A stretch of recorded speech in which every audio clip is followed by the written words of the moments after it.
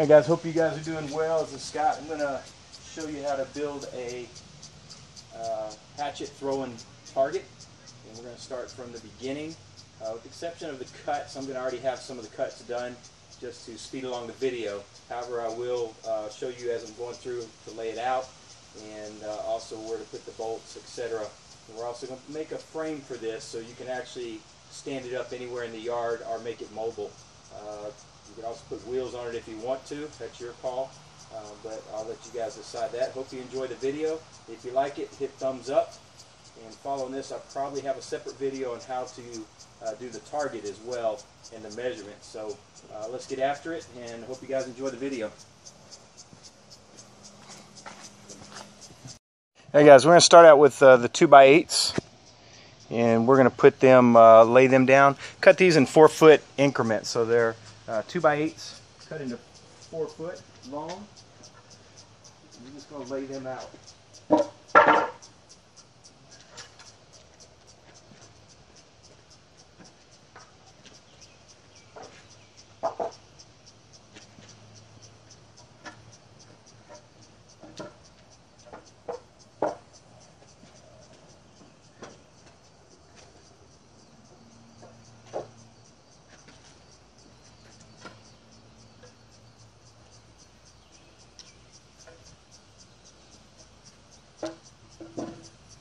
Actually going to make this on the outside since it has a heavy knot on it.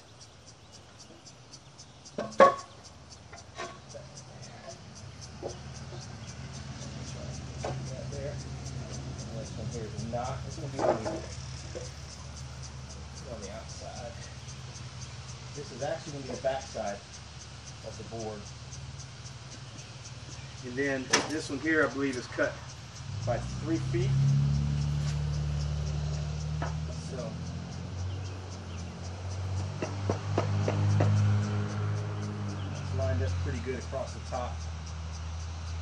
Okay? And that measurement there is going to give you a rough estimate of your board. A little over three feet. And top to bottom, about 55, uh, 55 inches. So um, not too bad there as far as the board. Then what I did is I cut a piece of plywood. Drop that plywood right on the back. Just like so. And we're going to line that up and we're going to shoot screws. Two screws for each board is what we're going to do. And that's going to set our, um, our frame there, our board. And uh, come right back after I screw that in. Alright guys, so we're back uh, and just so you guys know what I did is I took one of the pieces, end cuts of the boards, measured each section. You want two screws uh, in each one. Across the top I put, you got one, two, three, four. Then you got two screws in each board at the top. And at the very bottom, you have two screws. And you can use inch and a half to two inch depending. Now two inch is going to be a little bit long. However, I'll be uh, completely, and that's why you want to stay at the edges because the target's going to be dead center. And hopefully you're not that off to where you're hitting the very bottom.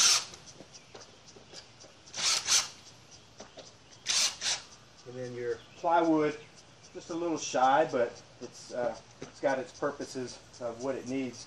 So that's where we're at there. Um, put that up and flip this over. So here's where we are looking on our board so far. Top's got a little bit of a gap, but that's not bad still. Okay, and that's what we're gonna, now we're gonna start working on the uh, frame itself. I should say the stand on the outsides. Okay, now we're gonna grab our two by sixes. I already drilled a couple of holes in these things here to have them ready to go. Uh, Pre-drill your holes. And I'm to line this one up just underneath. We go right underneath uh, the, the first board there, that top. And that's to give me a little bit more room at the bottom to play with.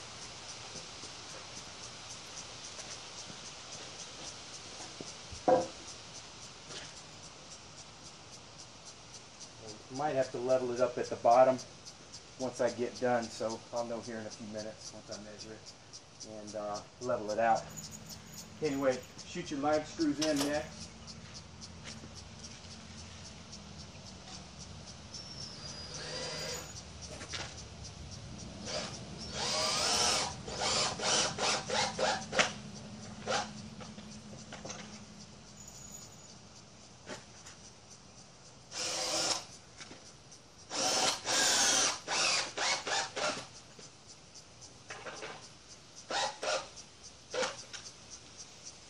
And two up top, one dead bottom.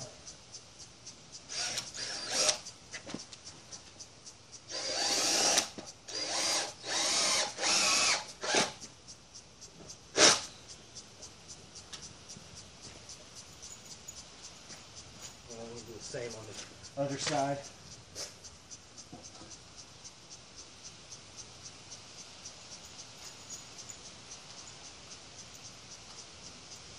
See.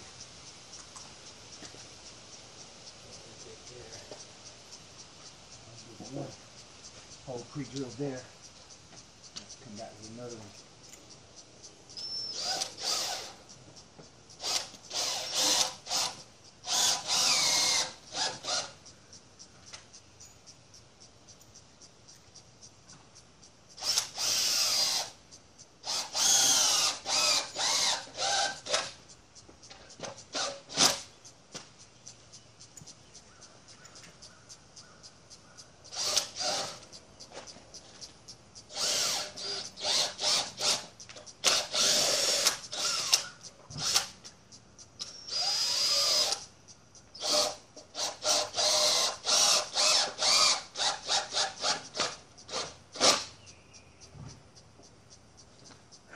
Good shape so far.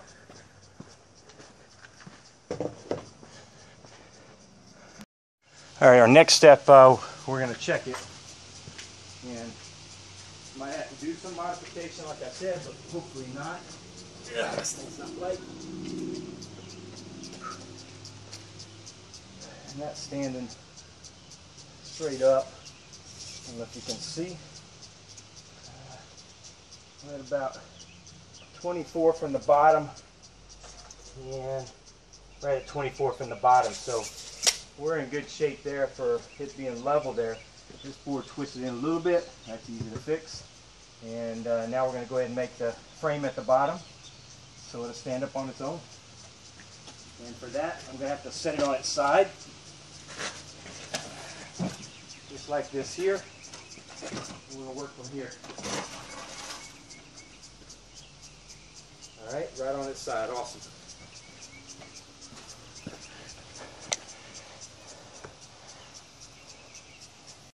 All right, next step, two by fours. These are cut in four foot lengths. I marked the center, but being back heavy, I think I'm just gonna offset it a little bit here. I'm gonna go even with the bottom board, bottom to bottom, and I'm just gonna tighten it up there with about three screws.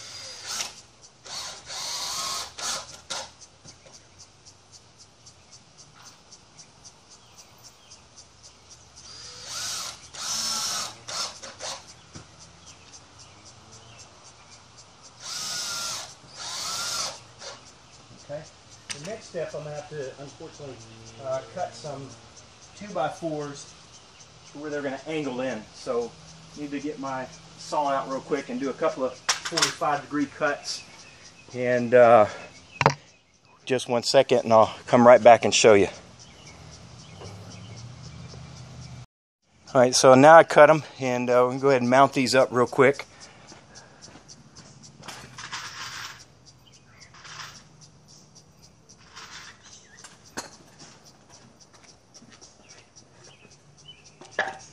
and probably find the centerpiece. Somewhere in that neighborhood right there, we should be good. Almost takes two people to do it, but we're gonna work through it here.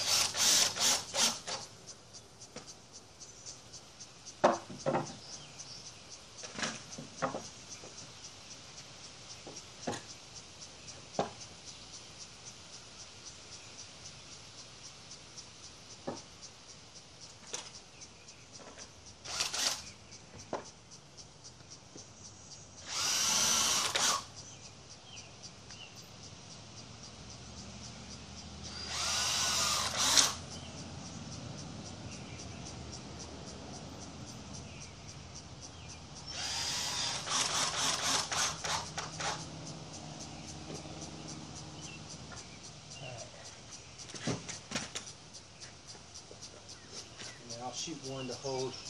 On the other side, I'll probably tap drill here, get a drill hole started, come one time up from the bottom uh, with probably a three, three inch or four inch screw there to make sure it catches real good. So that's one side. I'll flip it over and do the other side, and then uh, um, we'll go from there. Show you guys what it looks like when I set it up.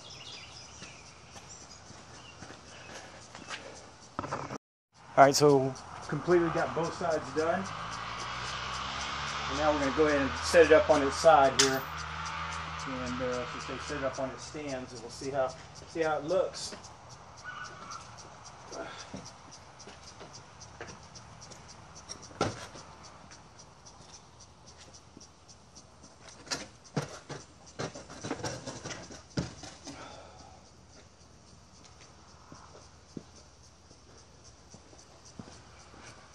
And that's huge. I'm going to try to back it up a little bit so you guys can see it.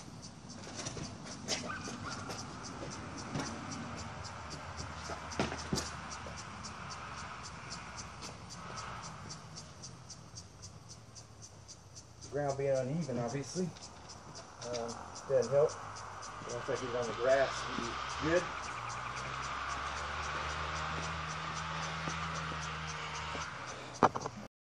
So I finished the other side and um, show you where we're at with it.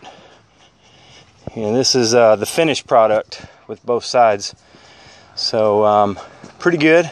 I'll probably center off the top a little bit. And what I mean by that is I've got it to where I could actually just keep replacing boards in there versus um, rebuilding a whole new one when that one's wore out. So uh, maybe down the road I'll do another video. Probably gonna put hooks across that top board, then have it figured out to where I can just uh, put five new planks in there and hang them off of uh, two brackets across the back. So I think that's gonna be the easiest way. So this is this is the completed project.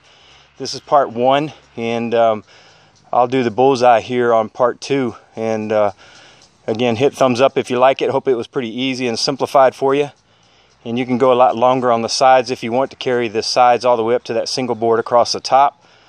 But uh, again uh, this is just preference. And and if you want to get uh, all the legalities then you can go do true measurements on a on a uh, professional board which I'm sure there's some out there that specs etc but this is just for uh, around the house playing around. Hope you guys enjoy it and we'll talk to y'all soon Hey guys, here we are. We're going to um, go ahead and put the bullseye on the board. A couple of things keep in mind. If you're going for specs, you can find some specs online.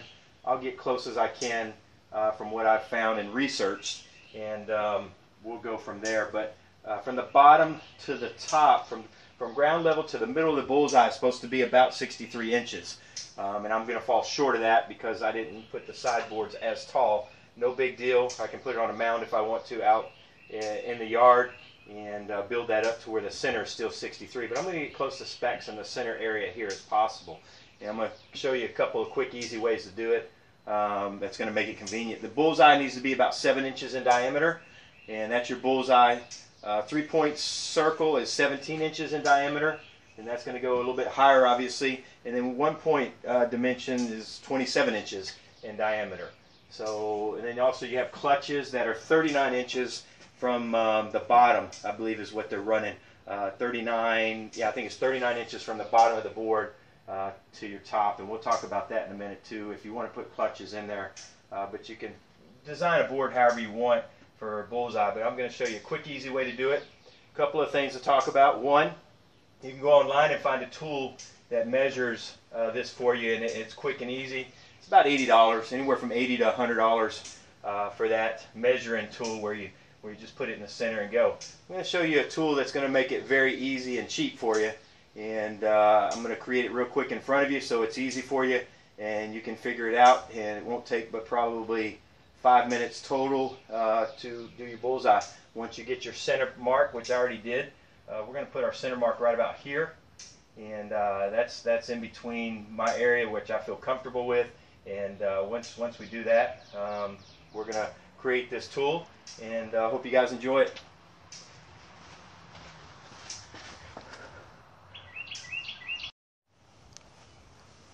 All right, guys, here we go. Let's go ahead and create the bullseye. A small hammer, give you all the things you need. A drill, a small drill bit. We've got a pencil just in case uh, the marker doesn't work, but a Sharpie, industrial strength, one quarter inch bit, and uh, a knife for cutting this down a little bit. Yardstick, 99 cent at Lowe's, um, versus the $100 tool that you see online to create your, your target and your bullseye. So um, very cheap, save you a lot of money. And I'm going to show you how easy it is to uh, create this here.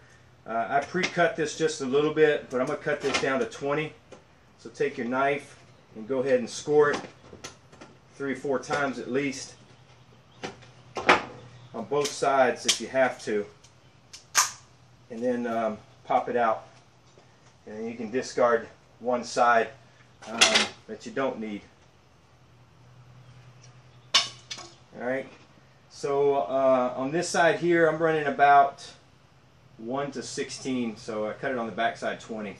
So this is where we're at with this. So take your first, first drill, uh, hole that you're going to do is right on the 1 inch mark.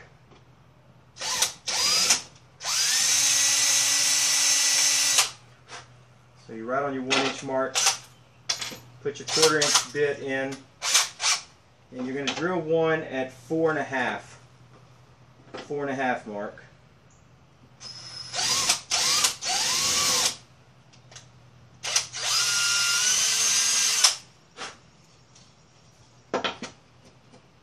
Then you're going to go at the nine and a half mark.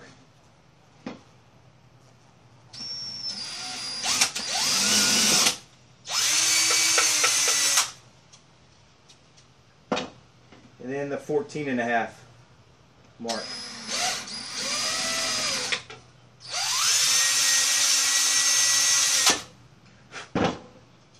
Okay. So now, easy part, small nail, okay, put it through that first little hole that you had. And we're going to put it in my mark.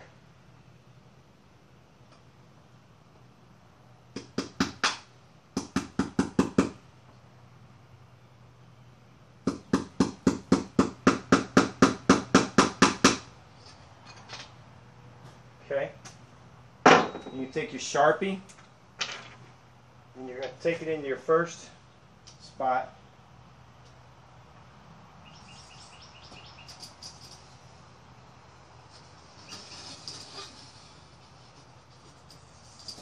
Okay, it's your bullseye. Now go to your nine and a half mark and you can do the same thing.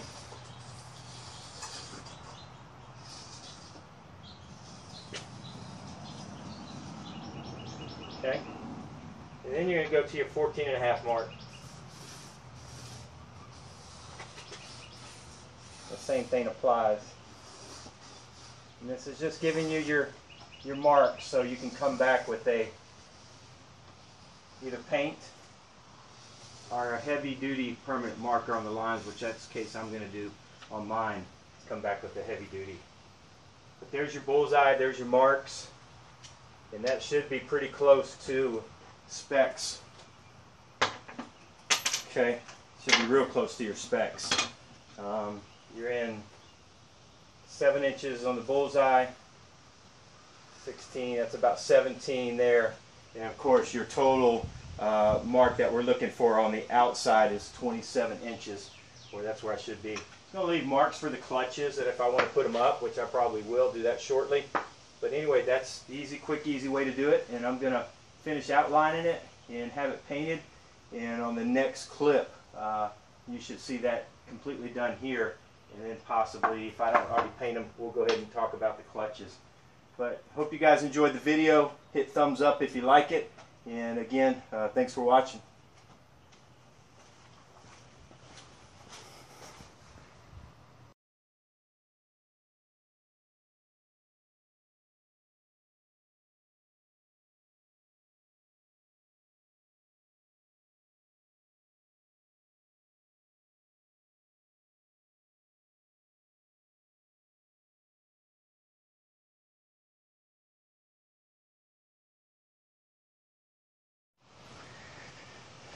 Hey guys, so your clutches is what we're going to work on next. Same concept. Took the other part of the, the uh, yardstick, one inch, and then I went just a little under three inches here. Um, I'm going to create close as I can get to that four and one quarter inch uh, for the clutches. Uh, they talk about putting them up top left. I'm going to go ahead and put them in all four corners uh, just because I'm going to play around with it a little bit differently with my kids and and uh, the couple places we went we did scoring differently. Uh, but anyway, uh, it's totally up to you how you do your design. But I'm just going to show you real quick, same concept. Uh, one inch with the nail and then we're going to go just shy under that three. So again, I already have my marks and then I'll do it in all four but I just wanted to show you guys uh, real quick. For your clutches, that's what you're looking at.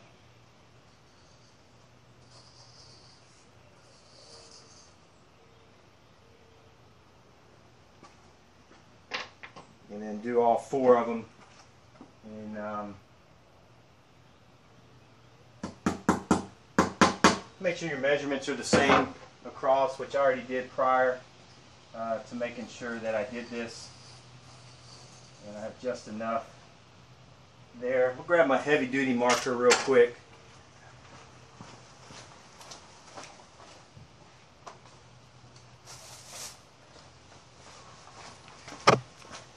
And my heavy duty Sharpie, and I'm just gonna, same concept as I did on the others. And I'll be painting these anyway inside and then coming back again. Uh,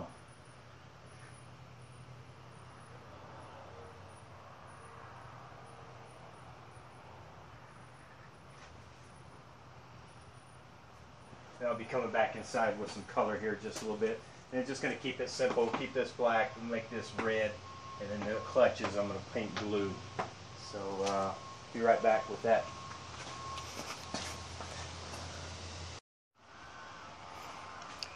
Hey guys, here we are, boards complete and ready to go. Talk about axes. Uh, these I got as Lowe's as well. Uh, Estwing, pretty solid axes. Um, they've got the rubber coating down here on the metal um, handle. So steel all the way down. Uh, there's no way that thing would break off. Now you can get some at Harbor Freight. You can find some cheaper ones that are made out of fiberglass. Um, I'll put a link in where you can just click on these. Everything I've got was Lowe's, a few, probably less than a mile and a half down the road. So uh, these are what we're going to be throwing at the board. And the distance is totally up to you. I'll leave it to you guys how you decide. This one here is one of my favorite ones as well from Lowe's. Have not thrown it yet, but man, the weight on it, uh, the balance on it is pretty pretty awesome as well. It's also uh, uh, Estwing as well, so uh, Estwing, I should say, pronouncing it uh, correctly. But solid solid steel all the way down, and then the handle itself is still underneath, but it actually has a, a, really rather cool design. Again, solid steel all the way down is what you really want to look for. and there's so many different ones out there. You can buy hatchets homemade hatchets with wood handles, etc. So totally up to you how you want to do it. Anyway, I'll set it up and uh, we'll throw a few.